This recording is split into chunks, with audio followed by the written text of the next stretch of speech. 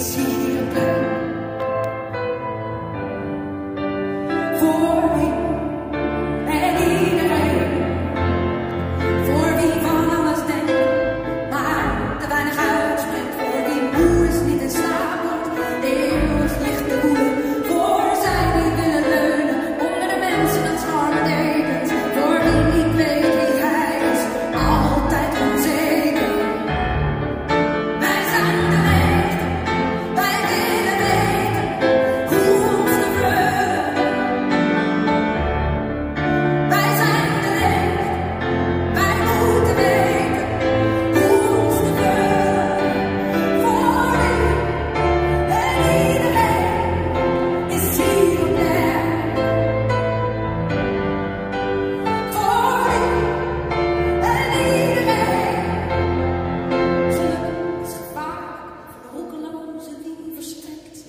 zijn eigen ik, die de weerloosheid weggeeft, koopt en slikt, die zichzelf bezweert.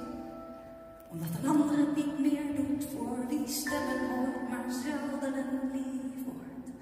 Voor wie bang is, verlaten te worden, zelf iedereen verlaat, het voorzorg.